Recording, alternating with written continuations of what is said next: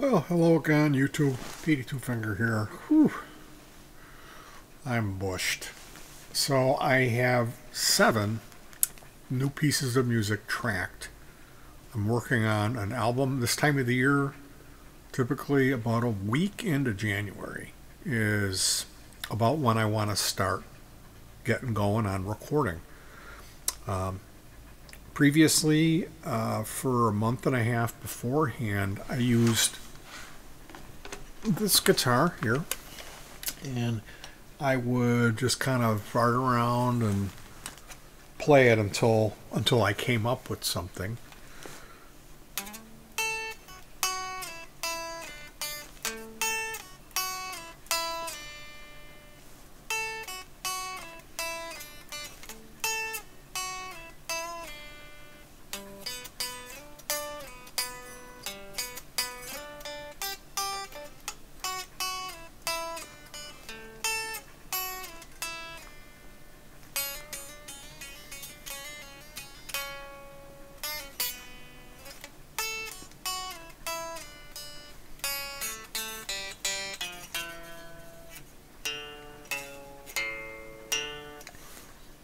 Something like that. Come up with a little idea and use this same webcam to film myself playing it.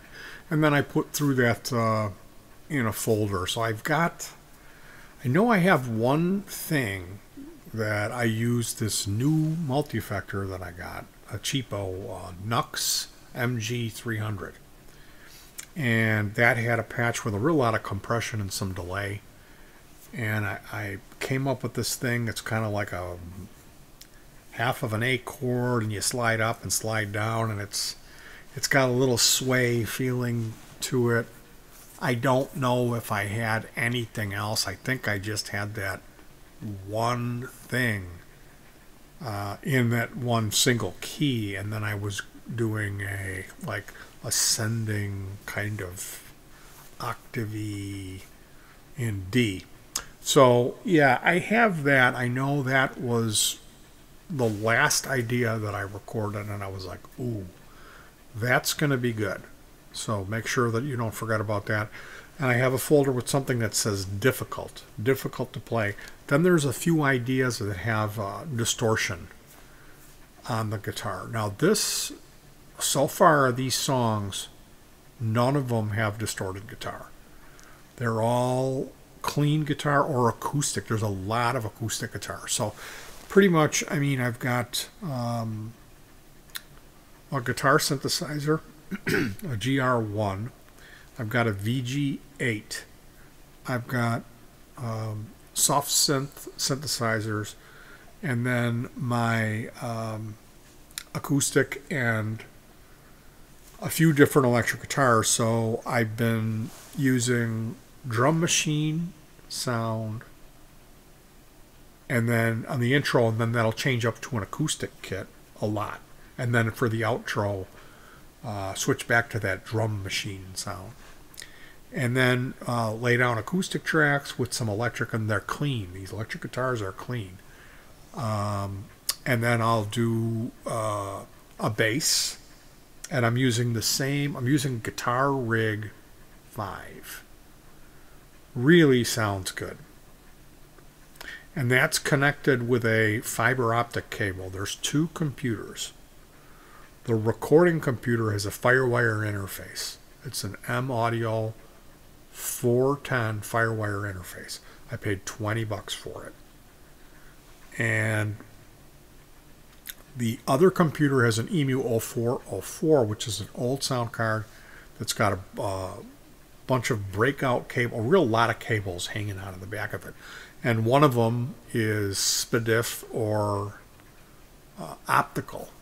So I'm running a fiber optic in between. And when I do the base, that's done on the other computer. And I'm using the same type of uh, patches, like very. Uh, one of them is called the Ox, and that's um, John Entwistle. There's one called Jump Bass, but they're very kind of uh, a lot of treble, like kind of almost distorted sounding bass patches. Um, when I do the keyboards, I'm using Spitfire Labs and uh, u-he Zebra 2 and u-he Hive, and also um, Organize Organizer, which is a organ a B3 Hammond. Man, does it sound good! I went through all of the free Hammond organ VSTs I could find, and this Organizer one, man, it's I really like it. Uh, using the GR1, I've been using vibes and flute. And then, like, I use the deep for an effect and a couple other things, but mostly the, just vibe, which has a really cool stereo wobble.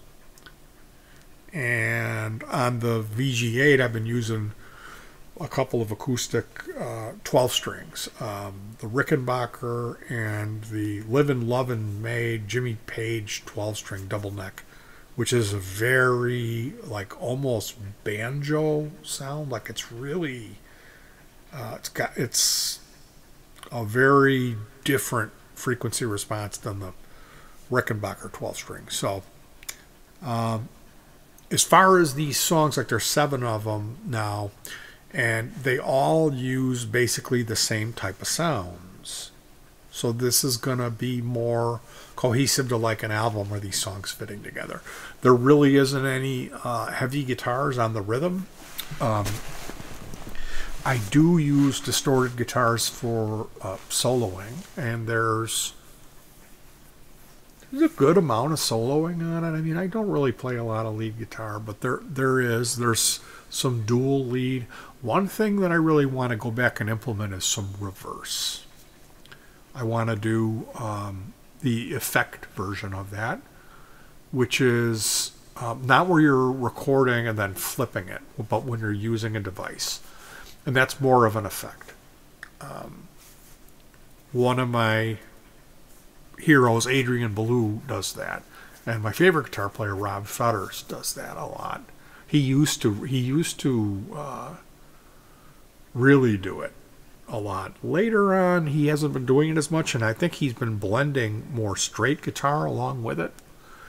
But um, yeah, I'm a couple of these tunes. You know, I'm I'm in the process of like I'm I'm getting close to wrapping it up, and I'm hearing it. I'm listening to it. I'm thinking, gee, that's really what's missing. Is some of that wort wort guitar. So probably about another week. I mean, typically, I've had a lot of problems with the stool. I uh, I cut some foam, I had some thick uh, foam and cut that and taped, duct tape like the whole thing around this drum uh, throne, drum throne that I bought. Nice drum throne. And because uh, because my the, the next day after sitting there tracking, it was like I felt like something was really wrong with my tailbone from sitting on this. So I ended up realizing I had another, like a very luxurious, wider diameter stool with some thick foam that I had uh, got at a resale store, and that was under some clothes in the other area where I used to play with the family band with my daughters and my wife. So my wife dug that out, and I used that, and it's it's a lot better. But I tell you, if I could if I could figure out a way to get some Oompa Loompas in here and have them you know, bring me a MIDI keyboard, bring me the bass. I could just lay here and record. Because uh, uh, uh, between my uh, back issues and then tearing up my fingers, playing for 10, 12, 16 hours a day, I really have been needed to take a day off for each day where I make a real lot of progress and, and track a whole tune. I need I need to take a day off, at least one day. I took two days off for this last song um, we Skyped with my daughter, saw my granddaughter, and then I had to. I ended up. Uh, I could have stayed here by myself. My wife was home off of work. She was going to go uh, grocery shopping, and I'm like, you know what? I'm going with. I want to get out of here.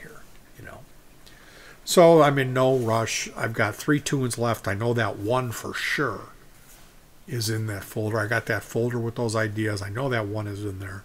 I got to do that.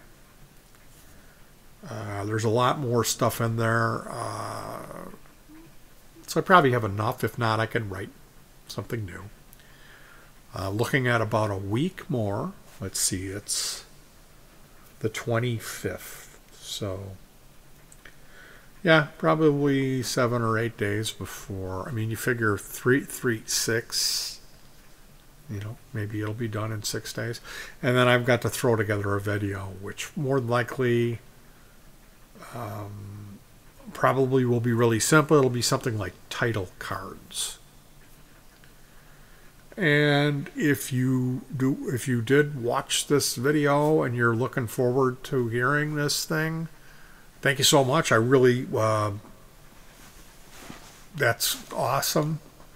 I can't wait to get some feedback on it. It's very hard for me to judge for myself.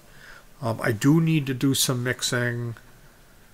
Uh, so you know, it's probably not going to be six days, and this thing's going to be up. It's going to going to be a little longer than that, but it should it should be it should be happening fairly soon. Hopefully, what I can do is motivate myself to do to record in a day and then do mixing the next day, and just kind of listening to stuff and then bumping some stuff this here and there, bumping some stuff here and there. I know I do want to go back and maybe throw some reverse guitars in here and maybe. I mean, am I going to put sound effect beds in between the music again? Probably not. Is there going to be any vocals? or computer generated speech, which is always a standby. I've always got computer generated speech on my albums. Um, I think I'm going to break tradition on this album, is what this one's going to be about. And like I mentioned, going in and using specific um, colors or sounds on each device and then repeating that process has made these songs they're all very similar. The, the music is different but the the uh, there, there there is elements in there you know kind of playing scales going up and down was something I figured out uh, to interject into my music uh, on the last album and before that I just started writing and doing that um, and I really like the way that sounds so this is an extension of uh, Slow Malone or 02, 02, 2020, the one I did last year. It's uh, the rhythm guitars are all clean. There's no distorted guitar, but on the lead soloing, which there is a good amount, I think this is the most soloing that I've done. Um, maybe. I mean, I, I seem to do a like the bare minimum of what I can get away with you know, and that's because I'm I'm handicapped. Like I, it's very difficult for me to play lead. Uh, I do some dual dual leads, and I I'm ha- very happy with the lead playing on this. I'm I'm generally very happy with all of it. I really am. I'm super excited about this. I can't wait till it's finished. I can't wait to get away from it and come back and then I'll be able to appreciate it for what it is. Because when you're close, when you're working on it, you just get this ah, like it's, it's it sucks, it's horrible, it's garbage, and then you start making mistakes in the mixes that you need that time away from it to come back and hear it, and then go, oh, holy cow, that that Leslie organ is way too loud. So, yeah, I got seven done, and three more uh, should be happening soon.